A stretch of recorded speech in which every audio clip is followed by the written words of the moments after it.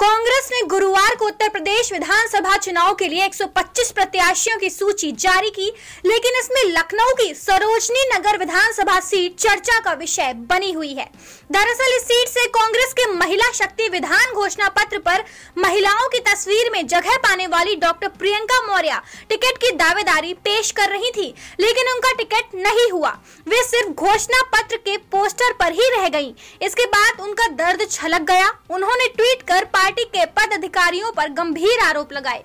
Doctor Priyanka Maurya ने tweet कर राष्ट्रीय महासचिव प्रियंका गांधी के एक सचिव पर गंभीर आरोप लगाए। उन्होंने ट्वीट में लिखा कि, लड़की हूँ, लड़ सकती हूँ, पर टिकट नहीं पा सकी क्योंकि ओबीसी थी और घूस नहीं दे सकी। यहाँ केवल उनका और उनके नाम का इस्तेमाल किया गया है। उन्होंने आगे और भी सनसनी खेज आरोप लगाते हुए कहा कि ये पार्टी महिला विरोधी है। यहाँ सारे टिकट प्री प्लान है। सिर्फ़ दिखावे के लिए स्क्रीनिंग की जा रही है। हमसे कहा गया कि टिकट चाहिए तो मैराथन के लिए लड़कियाँ लाइए। मैराथन में लड़कियों के साथ बहुत बुरा सलूक हुआ।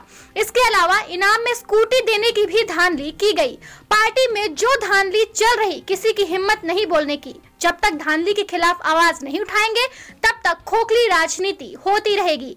बता दें कि डॉक्टर प्रियंका मौर्य के ट्वीट के बाद पार्टी में खलबली मच गई है।